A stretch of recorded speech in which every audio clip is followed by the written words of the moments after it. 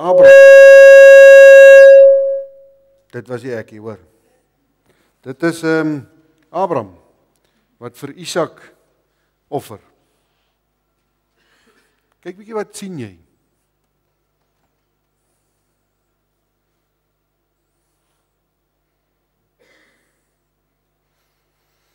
Daar's nie toue om Isak se enkels nie.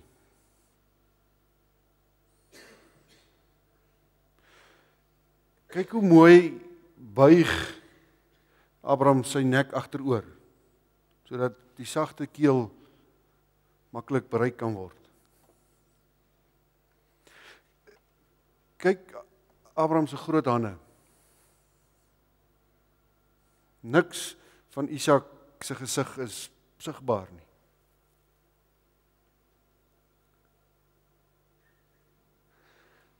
Kyk Abraham se gesig. Wat sien jy? skok, verligting, verbasing als in een.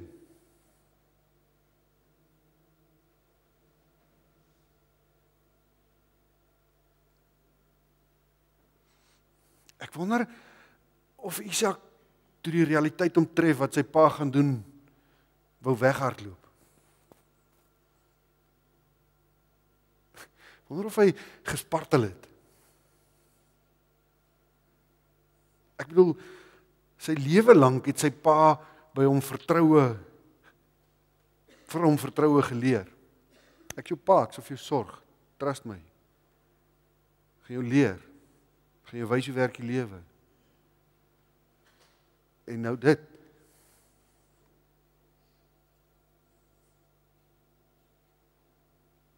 Ek wonder Abraham Die teks gee geen emosie as jy daai storie gaan lees nie.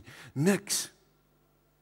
En ek wonder of Abraham so emosieloos deur die actions gegaan het. Ons sit onsself baie keer in Abraham se skoene en en, en met reg ook en ons praat van die vader van die geloof. Hy's hy die ou wat wat die myn ou is.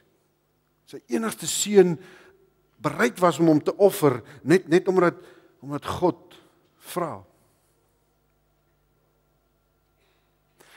Maar ek wil hê ons moet vanaand ons self in Isak se skoene sit.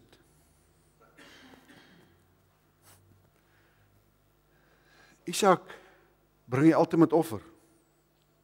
Gee homself.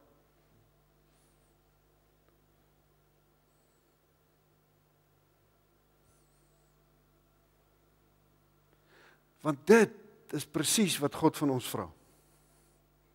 Dit wat met Isak gebeur. Dat ek en jy uit eie vrye wil sonder dat iemand ons voorsê, sonder dat iemand ons blink lek om dit te doen, sonder dat iemand ons dwing om dit te doen, self op die hout klim en jou keel oopmaak. Geslag te word.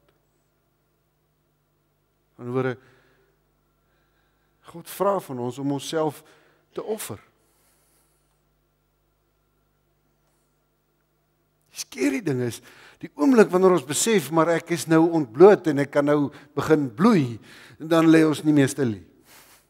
Dan begin ons spartel en skop en skree en raas en wil met alle geweld weghardloop. Wat mos nou normaal is. Skerie hierdie foto. Right, nou gee ons die ligte aan sit dan hy. Dankie, skus man. Matteus 16. Kan jy die teks vir vanaand gaan kry?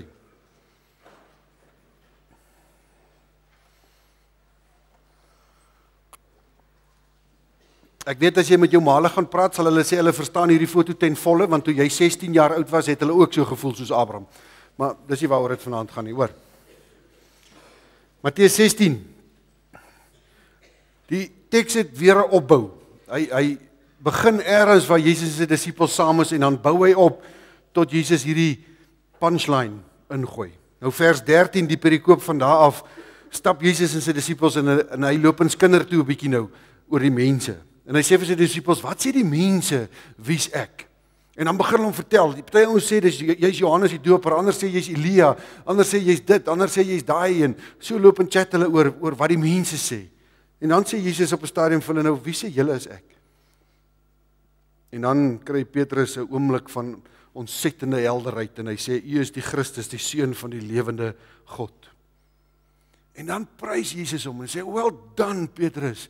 Jy's die rots waarop ek my kerk gaan bou. Jy's die myn peanut in hierdie pakkie. Ek is so trots op jou, dit wat jy gedoen het. Ek gee sommer vir jou die sleutels van die hemel. Jy's die ou." En dan net die volgende perikoop begin Jesus vir hulle vertel wat met hom gaan gebeur dat hy gekruisig gaan word, dat hy gemartel gaan word, dat hy gaan sterf. En dan kom die myn peanut in die pakkie wat mos nou die belangrikste ou is en hy sê vir Jesus en hy vat hom apart. Ah, ek sal dit nooit toelaat nie. En dan sê Jesus vir hom Satan gaan weg. Dan sê Jesus vir die ander disippels, kom hoor julle ook nou hier. Staan nader. En is hierdie stukkie wat ek wens Jesus het nooit gesê nie vers 24.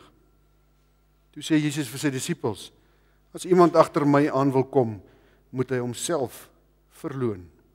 Sy kruis opneem en my volg. Want wie sy lewe wil behou, sal dit verloor.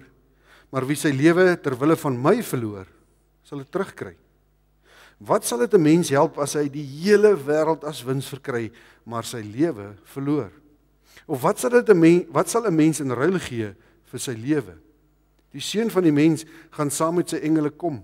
Hy sal bekleed wees met dieselfde heerlikheid as sy Vader en sal elkeen volgens sy dade vergeld.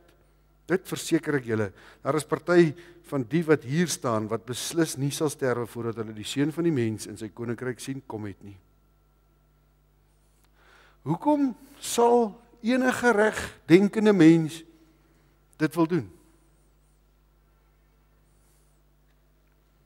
Nou die mense van Jesus se tyd het presies geweet hoe lyk 'n kruisigingstoneel. Hulle het presies geweet hoeveel saffer ou wat gekruisig is.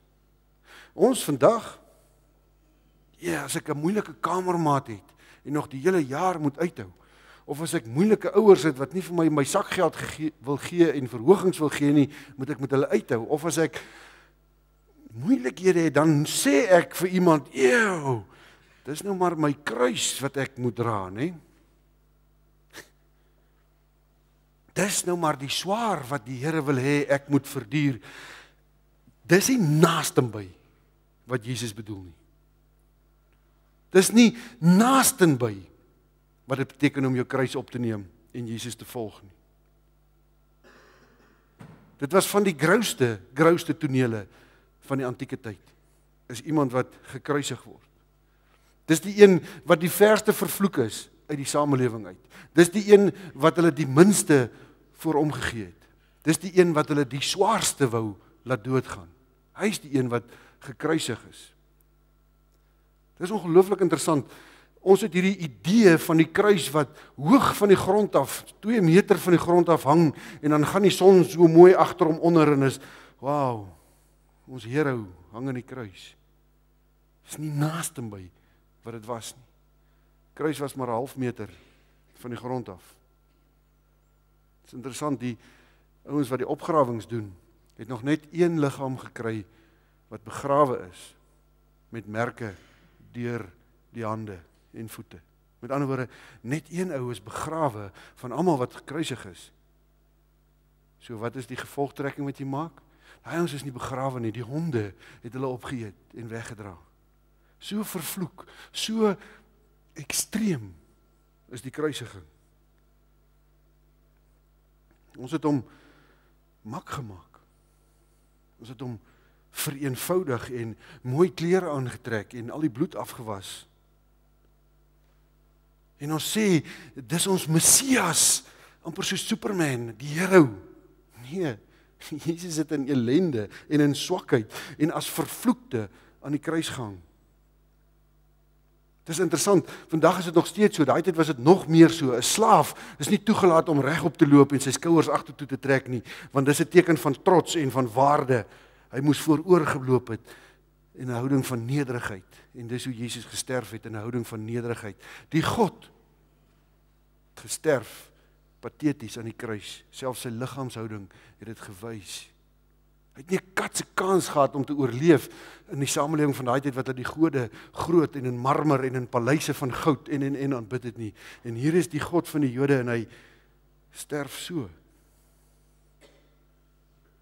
Dit is soos om jouself op die of op die altaar neer te sit soos soos Isak. Jouself weg te gee sodat God kan maak wat hy wil met jou.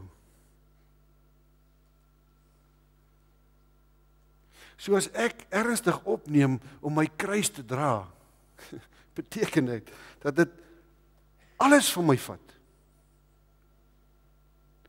My drome, my ideale, my ambisie alles vra God. Romeine 12 vers 1 ken julle so goed. Julle lees dit baie by koshuisopeninge en waar ook al. Romeine 12 vers 1 gee jouself as 'n heilige lewende offer wat vir God aanneemlik is. Dis wat dit beteken om lewenslank elke liewe dag jouself te offer weg te gee. Met ander woorde, jy hou op om vir jouself te leef. Jy leef vir God. vir sy plan. So so mag 'n mens dan nou geen drome van jou eie hê nie. Mag jy nou geen ideale hê nie. Ek bedoel hoekom swarte ou dan nou? Hoekom is ek besig om myself voor te berei om om ergens in die lewe iets te beteken? Why? As die Here sê jy moet als weggee. Ek dink dit is nie so 'n eenvoudige antwoord op vraag nie. Ek dink dit lê bietjie dieper. Bietjie ondertoer. Wat is vir jou die belangrikste? Dit wat jy wil hê? Jou droom van sukses, geld, status, groot huis. Is dit die ultimate? Is dit jou wegspringplek? Of is jou wegspringplek dit wat God vra. Die teks sê dis waar ons wiskunde en God se wiskunde nie meer sin maak nie.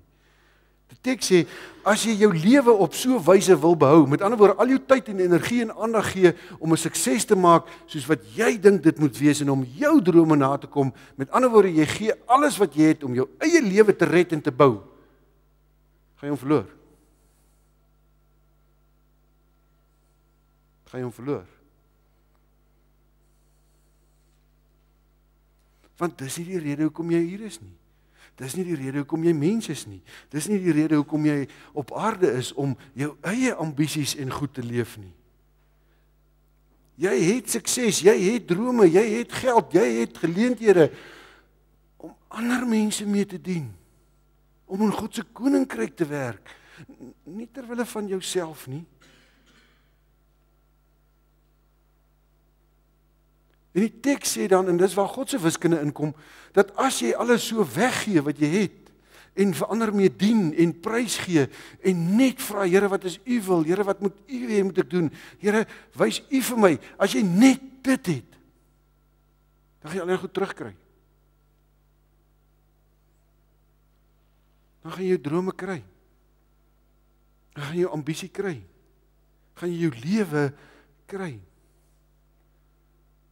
So dit gaan oor 'n wegspringplek. Dit gaan oor hoekom doen ek wat ek doen? My geld, my aansien, my job of dit wat God vra. Dit wat God vir my wil hê. En die vraag bly nog steeds, hoekom sal iemand wat heeltemal regsdenkend in sy kop is, dit doen? Alles weggee en God volg. Hoekom sal 'n ou dit doen? Miskien Miskien omdat hy glo. Miskien omdat hy glo dat God liefde is en vanuit God se liefde God net die beste vir elkeen van ons wil hê. Miskien sal dit my ooreed om my kruis op te neem en om te volg. Miskien, miskien as ek verstaan wat die wêreld en sy begeertes met my wil doen. En die wêreld en die wêreld se begeertes wil net een ding met jou doen en dis jou doodmaak. Doodmaak. Miskien, miskien as ek glo dat God lewe gee en dat God die een is wat lewe uitdeel en die beste vir ons wil hê, kan ek dalk besluit maar wow. Dis dalk vir my die beste om my kruis op te neem en vir Jesus te volg, myself te verloon. Sodat ek kan leef. Sodat ek vir ewig kan leef. So dalk maak dit dan nou sin. In vandag se tyd weet julle, sex, money and power rules the world. Daai 3. Sex, money and power. Voorbeeld. Gaan elkeen oor iets sê sodat jy die sommetjie kan maak wat die wêreld wil doen met jou en dit wat God vir jou wil gee. Kom ons kyk na seks. Wie van julle wil nie 'n gelukkige huwelik hê nie? OK, dis nou nie die ouens wat nie wil trou nie. Wie wil hê dat sy partner hom eendag moet verneek en hulle wil skei? Nee, ek het nog nie een kappel getrou wat gesê het, "Ja, ons trou want oor 3 jaar skei ons, dan vat ek weer iemand nuuts nie." Nee, werk nie so nie. Werk nie so nie. Jy trou want jy wil lewenslank by daai maatjie van jou bly. Jy wil alles met hom of haar deel. Jy wil nie hê daar moet ooit seer wees nie. Jy wil nie hê daar moet 'n verneek besigheid wees nie. Dis wat God ook vir jou wil hê. In feite, God is so ernstig oor die huwelik dat hy dit gebruik as metafoor van sy liefde vir jou. Jy's God se bruid. En ek kom jou haal om te trou en fees te vier en dan forever saam te leef. Dis hoe krusial die huwelik vir God is. Why? Want in die huwelik as twee mense saam woon, is dit die enigste plek in hierdie hele wêreld wat jy aanvaar word nes jy is. Ek verstaan dit glad nie. Maar my vrou is lief vir my nes ek is. Gaan my verstand te bowe want ek sukkel baie keer om dit self gedoen te kry. Die enigste plek is in huwelik. Die tweede ding wat die enigste plek in die huwelik is, is daar word jy vergewe. Heeltemal vir alles. Van die stupid goed wat ek al in my lewe aangevang het. Vrou vergewe my. In die huwelik is die enigste plek waar ek myself kan weggee vir iemand anders. En is veilig. Daarom sê God, ek het julle so lief soos 'n bruid en 'n bruidegom mekaar het want in ons verhouding God se en ons in sy kerk is daar volle aanvaarding. Aanvaar jou nes jy is. Is daar volle vergifnis. Hy vergewe alles wat jy nog ooit aangevang het. Vir ons sy kerk nooi hy uit en sê gee jouself weg. Dis veilig. As jy dit nie gaan doen nie, gaan jy jou lewe verloor. Met ander woorde, God wil hê dat as mense wat buite die kerk is na twee kyk wat getroud is, moet hulle sê, "Wow, is dit hoe God lyk?" Is dit hoe God se liefde lyk? Hoor jy hoe belangrik is dit vir God dat die huwelik sy plek reg en korrek inneem? Nou is daar 'n klomp staf wat dit wil steel. Die seksuele drang is seker die sterkste drang wat elkeen van ons het. En die Here sê offer dit op. Offer dit op. Sit die seksuele op die regte plek in jou lewe sodat jy jou lewe kan behou. Met ander woorde, verny vir my pornografie. Vir my gesprekke en jokes en pratery oor seksie en oor seks en oor wat ook al alles want dit vuur net die drang binne in jou aan. En dit kan alles wat jy vir jou huwelik beplan vernietig. En dis dis is eenvoudig nie, nê? Want die hele wêreld skree vir jou. Hey, dis alright man, jy kom niks oor as jy rondslaap nie op hierdie aarde nie. Dis dieselfde as wat jy bokspap in die oggend eet en aangaan met jou lewe. Niks. Yes. Dis skerry. kyk pornografie, dis onskuldig man. Ja, ag, wat is dit nou? Dis nou 'n paar arme meisies met min klere aan of andersom. Niks aan jou doen nie man. Die dag as jy getroud is, hou jy net op. Fyn. Dan is jy reg. Hoor wat sê 1 Korintiërs 6 vers 18. Julle moet niks met seksuele losbandigheid te doen hê nie. Elke ander sonde wat 'n mens doen, vind buite sy liggaam plaas. Maar iemand wat seksuele losbandig lewe, vergryp hom aan sy eie liggaam. Hoor jy, lieg die wêreld. Daar gebeur nie niks met jou as jy rondslaap nie. Of as jy pornografie kyk, of as jy seksuele boeke lees, of as jy love scenes op die TV of op wat is hierdie ander ding, DC nee, dis nie meer wat ook al, kyk. Ehm um, Dis nie goed vir jou huwelik eendag nie want dit maak jou brein dat hy op sekere maniere dink aan jou vrou of aan jou man en dan word dit later 'n verdraaide stikkende huwelik van gebruik want ek is so gecoach ergens along the line ek het nog geen koppel gekry wat seks het voor hulle getroud is wat hulle verhouding nie intens gekompliseer het nie en baie van hulle werk dan nie uit nie wêreld kom en sê, weet jy, dis beter om eers 'n bietjie saam te bly voor jy trou. Snert man. Saam bly vernietig kan jou huwelik vernietig. Want saam bly leer jou net om jou eie behoeftes te bevredig. Saam bly leer jou net om jou broodjie op al ses kante te botter. As jy kies om te sê nee, ek gaan dit nie doen nie. Want ek trust God meer as wat die wêreld vir my skree. Ek trust God meer dat hy lewe wil gee en die wêreld wil dit steel. gaan ek nie saam bly nie. Want dit leer my vasbyt. Dit leer my respek vir myself en vir my maatjie. So wat kan ek doen aan die hele ding?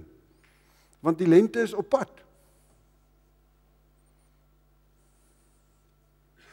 Ek het al gewonder oor hierdie ding. Jy kry mense wat sê jy moet hierdie hele seksuele drang wat in jou is, moet jy ignoreer. Dit ontken dat dit daar is. Ek dink jy kan nie. Jy het al na 'n mooi sonsondergang gekyk. En het jy dan nie behoefte gehad om te sê, "Wow, Here, dis beautiful." Hoekom kan 'n mens nie na iemand anders kyk wat in Lovers Lane verbystap en vir jou mooi is en sê Here, dis amazing wat U gemaak het. En dan aanstap en aangaan met my lewe. Dink dit is moontlik? Jy weet waar die woord woman vandaan kom, nê? Nee? Toe Adam die eerste keer vir Eva sien, toe sê hy, "Oh man."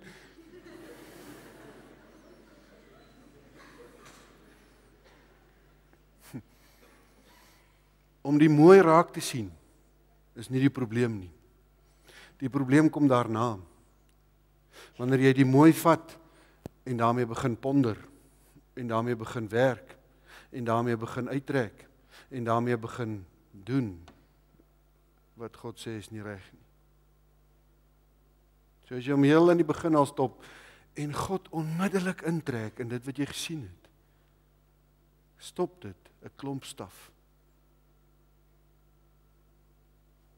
Probeer dit. Tweede ding. Sex money and power dan nou weer geld. Moet ek regtig alles besit wat ek besit? Moet ek regtig die beste van al sê? Moet ek regtig in weelde leef terwyl ek by hoeveel ouens verbyry wat nie het nie? Moet ek regtig die ouens wat vir my werk die minimum betaal sodat ek meer het? Ja, ons so rukkie terug laasweek ergens waar ook al was daar op Facebook mos nou hierdie foto van ons president Zuma met die hoeveelheid miljoene wat hy spandeer in sy huis en ons het almal gemoun en gepiep en gekerm daaroor en sê hoe kan hy dit doen? En ek besef maar ons doen almal dieselfde. Ons doen almal dieselfde. Dit is maklik om hom met klippe te gooi want hy sit op die grootste stoel. Maar ons doen almal dieselfde. Ons verryk onsself al meer en meer en meer en meer. Why? Wat is die gevaar hieraan? Die skerry ding is dat geld 'n stryk stel. Hoe meer jy het, hoe meer wil jy hê. Dis amper so goed as om goed te doen op universiteit. Ek het elke keer net net deurgekom en as ek dankbaar, ek het niks punte gesoek nie, niks nie, ek was net dankbaar my toets toegemaak. Maar as ek een keer 80 gekry het, dan soek ek nog want ek wil meer hê. Dis met geld dieselfde. Soek meer en meer en meer en meer en dan is genoeg nooit genoeg nie. En ek hoor julle, dis 'n gat waarin ek val en ek kan nie daar uitkom nie. En wat gebeur? Die vertroue skuif van dit wat ek eintlik op God moet hê wat die een wat my moet sorg, nou ek kan vir myself sorg want kyk wat het ek alles. Kyk hoeveel geld het ek in die bank, kyk hoeveel karre het ek, kyk hoe groot huis het ek. Ek sorg vir myself. Ek het nie vir God nodig nie. Dis die struik. En dan op die einde maak dit jou dood. Dis wat die wêreld sê. Nie die dood maak deel nie. Wat sê God? God sê trust my. Ek weet wat jy nodig het. Ek sal dit vir jou gee. Maar dit wat jy het, gebruik dit in my koninkryk. Deel dit uit. En mag, power my wil teenoor God se wil. My wil wat kies dit wat ek wil hê en dit wat ek glo die beste vir my is, dit wat ek wil versus dit wat God vir my droom. Dit wat ek wil is nie die beste nie. Nie die beste nie. Dit wat God wil, dis die beste vir jou want God is die ultimate gewer van lewe en liefde. En onthou julle die Psalm waarmee ons begin het? Dit wat God wil doen, dit doen hy. So al die mag en power in hierdie wêreld behoort aan hom. Alles. Jy en ek en Petrus wat dink hy kan oorneem het niks. So of jy nou AK is of jy nou SR word of jy nou president word van ons land, die mag behoort steeds aan God. So hoekom sal enige iemand wat regsdenkend is sy kruis op sy rug tel, homself verloon en God volg? Dalk dalk omdat jy besef dis die beste vir my. Dalk dalk omdat jy besef maar dit wat die wêreld vir my gee as die beste is nie naaste by nie. Dit wat God wil gee is die beste. Daarom sal ek dalk kies om te sê maar ek verloon myself, neem my kruis op en volg hom. En die amazing ding wat jy gaan agterkom as jy dit begin kies en begin doen elke liewe dag in elke faset van jou lewe, gaan jy agterkom maar my fokus skuif skielik van myself af en my eie myn peanut in die pakkie pathetiekheid na dit wat God is en wat God wil hê en wat God vra. Met ander woorde my fokus skuif na God toe. Ek kom agter ek kan nie anders as om ten volle op God te vertrou nie. Kom agter dat ek nie op my eie krag kan staatmaak op God se krag en versorging en moed staat maak. So. Hoekom sal jy dit wil doen? Hoekom sal jy jouself wil verloon? Kruis optel en vir Jesus volg. Amen. Here, U vra van ons moeilike staf.